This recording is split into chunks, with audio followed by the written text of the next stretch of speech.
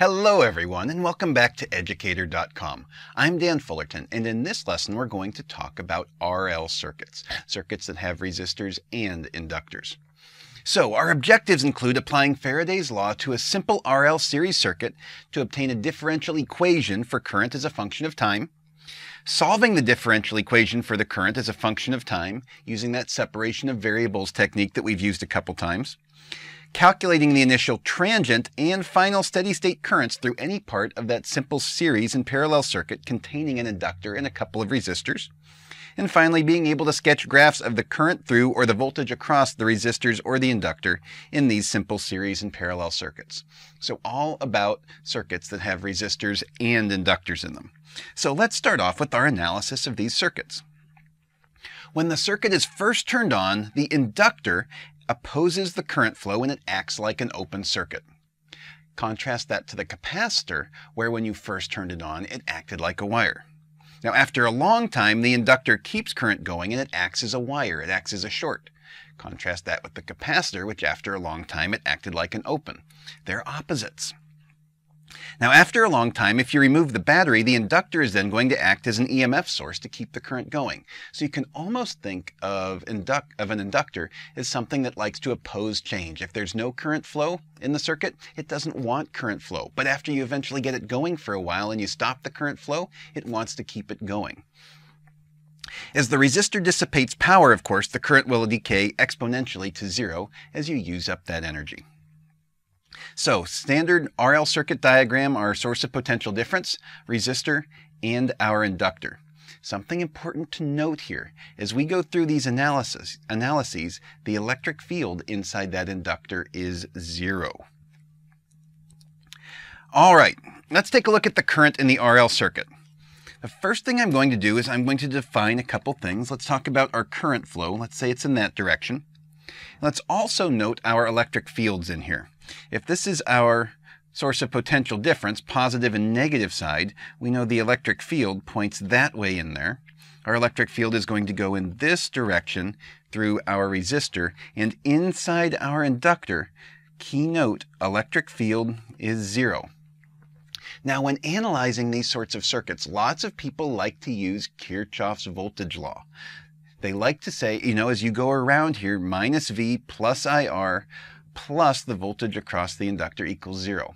And although you can get the right answer doing that, it's not technically correct because Kirchhoff's voltage law is really just looking at items where you have a non-changing magnetic flux. Because you have a non-changing magnetic flux, we have to go back to some of these first principles. And we're going to start there and do this the, the more correct way. So let's start by writing our equation, the integral over the closed loop of E dot dl is going to be the opposite of d phi b dt. We've been doing that for a while, Faraday's law. Well, when we do this, let's look at our uh, E dot dl side. We're going to have minus v plus our potential drop across r, IR. So minus v plus IR equals, and we know that d phi b dt is just going to be minus L di dt. We showed that in our last lesson. So that's how we set up our equation to get going here. So let's start to rearrange this a little bit. We have I minus V over R must equal minus L over R di dt as we work to separate our variables in our differential equation which implies then that, well, we have, as we separate these, di over i minus v over r must equal minus r over L dt.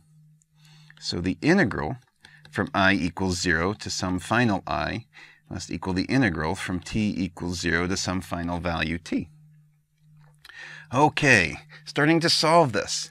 du over u, that form, the integral of that is going to be the log of u. So the left-hand side is going to look like the natural log of i minus v over r, evaluated from i equals 0 to some value i, equals, and the right-hand side, of course, just becomes minus r over L t. All right, expanding out this left-hand side, substituting in our limits, that implies then that the log of i minus v over r minus the log of minus v over r must be equal to minus r over L times t. And the difference of the logs is the log of the quotient. Therefore, we could write the left-hand side is the log of i minus v over r divided by minus v over r equals minus r over L t. Once again, this natural log is pestering me. So let's raise everything e raised to those powers on both sides so that we can get rid of our natural log.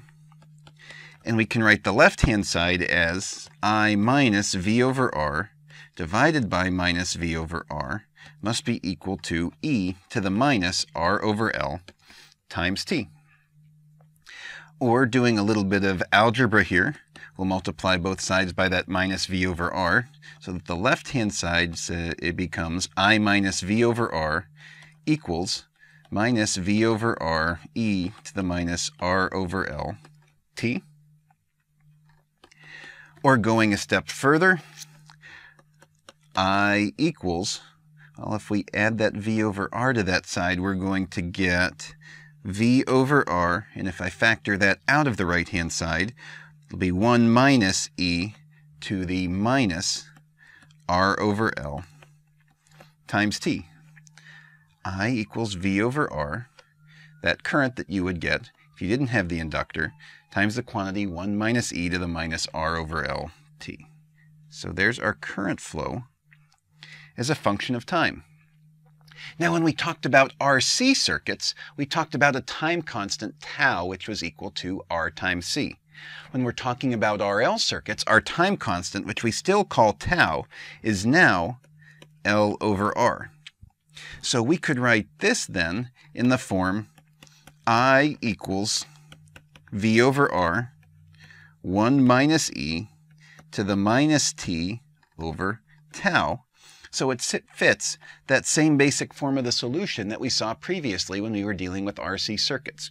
Once again, though, we're dealing with something 1 minus e to the minus t over the time constant, or e times minus e raised to the minus t over the time constant.